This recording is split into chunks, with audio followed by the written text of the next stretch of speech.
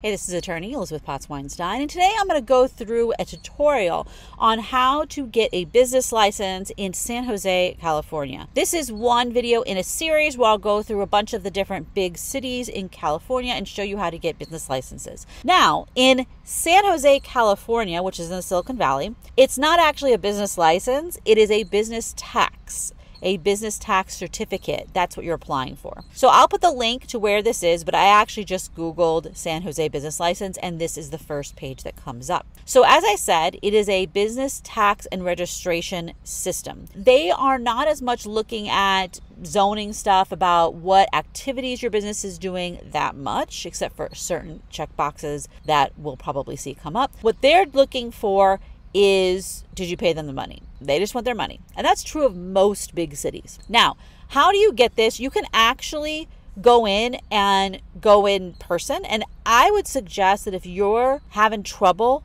doing this, and you're local in San Jose, because obviously you would be if you're getting a business license there, you might just want to go down there in person and they will tell you what to do. And that will might simplify your life. You make an appointment to do that, and there's a phone number right here, and you call, click option two for business tax and you can go ahead and make an appointment. However, if you can't get an appointment or you don't want to deal with that, let's look at how you would do that. They have a whole bunch of links here. Everybody ha- it has who has a person or company who is conducting business in San Jose must register for a business tax certificate. So this isn't just if you're located there, if you're actually doing business there. You have clients, customers, selling stuff, whatever. Payment is due 90 days of starting business. So you don't have to have this before you start business. You have to have it within 90 days of when you start. And then you get a business tax certificate and you have to display it. Now, obviously, like for me, I work from home. So, and right now, actually, I'm traveling full time. So, I don't really have a place.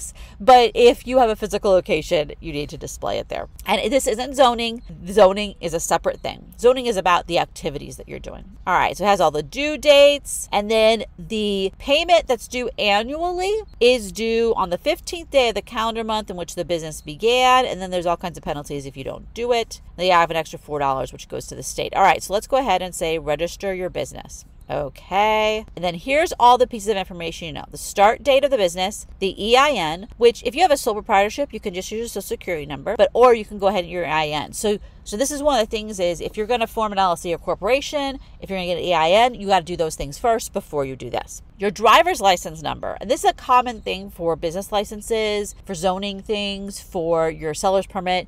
The license number for the owner or the owners has to be included because they want to be able to find you. Telephone number, obviously the owner name and address, address of every location, email, and then there are certain things that you would also need like if you're going to have a seller's permit because you're selling products, etc. If you're have restaurant, so you need a health permit. If you're a contractor, you put those numbers in. So you would get those things done before this. All right. For you, it, New registrations, if you paid, it takes a few days for it to activate. If you don't pay during it, you don't have to pay during it. They'll send you a bill in the mail. And you get credit card, they charge extra 2.4% fee. Ridiculous, but here we are. All right, so let's go ahead and click on this and see what happens. I've gotten a business license from San Jose before, but it was a really long time ago and it was done by paper. All right, so let's say, what kind of business do you have? Standard, residential landlord, commercial landlord, mixed use landlord, mobile home park, or self employed 1099 contractor. So if you don't have a business, that is like a general business. If you are only a 1099 person, they actually have a special category for this. So this is a lot of consultants, people like that, or you're a writer, or you know. But if you are selling to not other businesses, if you're selling to end user customers, then or clients, then you'd put standard business. So what kind of a business this is? I'm actually uh, fill it out as a sole proprietor. That's what I'm going to put in today. I'm going to put in my name. What is the form of identification? I'm going to put social security number. Okay, business email address. Business phone number is actually optional. Interesting. Okay, the ownership.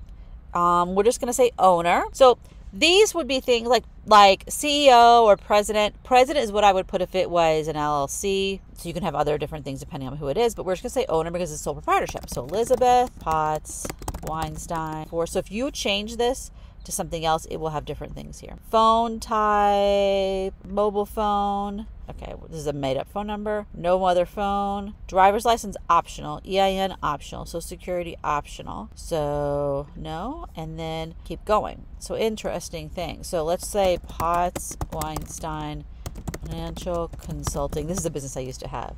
And we're going to say it started at the first of the month. Right now it is July 28th, so we're going to say it started July 1st.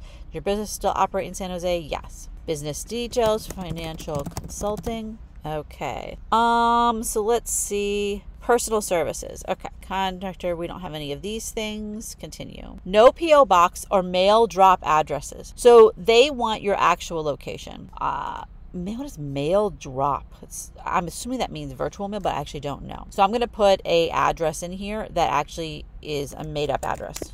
So this is not a real address. This is just made up Confirm address let's say your mailing is the same. Billing information, current number of owners in San Jose, number of full-time employees. We're gonna say zero employees, zero, zero. Do you have a business condition location? No. Is this a home-based business? Yes. Let's just say that. No. Do we not advertise leafless, pawning, sell door to door, food truck, public dancing, pool tables, flammable materials, hazardous waste, automobile repairs, serve for people, welding, produce dust, spray finishing, tobacco products. So, business tax exemption. So, this is actually a very interesting thing that I don't remember seeing this before. You do not have to pay these taxes or you get a discount if you are having low revenue. They low revenue, and then also if you're limited household income, and then they have a veteran, sale of hand produced goods, but and you only, let's say, a sale of goods. Uh, uh, uh, you only make $2,000. So in this business, I'm going to say this is a brand new business. It makes no money. So it actually is a low revenue generating business. So we're going to go in and click yes and see what happens there. Okay, so my name is Elizabeth Potts Weinstein, owner. And then I would click this that it, the information is true. And then I would be submitting this. I'm actually not going to do that because I'm, I can't click on a penalty of perjury because this is all made up information. So that's something that's really important whenever you submit stuff to a city or state or federal government. You are probably always clicking something saying under penalty of perjury, this all has to be true. And then I, you could select paperless statements. Make sure that your email that you put in here is correct, but otherwise, then you would want to go ahead and, and do it. So that's how you would submit that application. So, how much is the tax actually going to be? There's a business tax for the number of employees. So one to two employees, the business tax is $210 in for July through June 2023, and then July 1st, 2023 is $213, and then it's more for however many employees you have, going up to a very large amount of money. If you have um, re- rental property, it's per rental property. If you're an out of town business who's just going to have an employee here, there's a different factor of that, depending on how many people are here. In some cities, including San Jose, there are special rules for people who don't make a lot of money. Because if your business only makes $2,000 a year, a $200 business tax is actually incredibly unfair, right?